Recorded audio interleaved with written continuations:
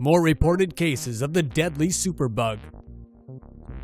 Two more hospitals have reported that some of their patients were infected by the carbapenem-resistant Enterobacteriaceae, also known as the CRE superbug. The Ronald Reagan UCLA Medical Center reported that 179 patients may have been exposed to CRE. Seven patients were infected, contributing to two of their deaths. Cedars-Sinai Medical Center in Los Angeles reported Thursday that 67 of their patients were potentially exposed to the deadly bacteria, with four confirmed infections. Hartford Hospital reported 180 patients may have been exposed and at least five patients were infected. CNN reported that the $30,000 duodenoscope used on the infected patients was often cleaned with a $1 toothbrush. The scope, made by Olympus Corp, has a hard to clean elevator channel, which may have carried the germs into patients' bodies.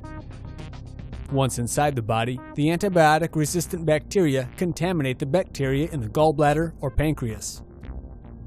Antibiotics usually work by rupturing the cell walls of uncontaminated bacteria, but bacteria with antibiotic resistant genes are able to defend themselves by throwing antibiotics out of the cell, by degrading the antibiotic,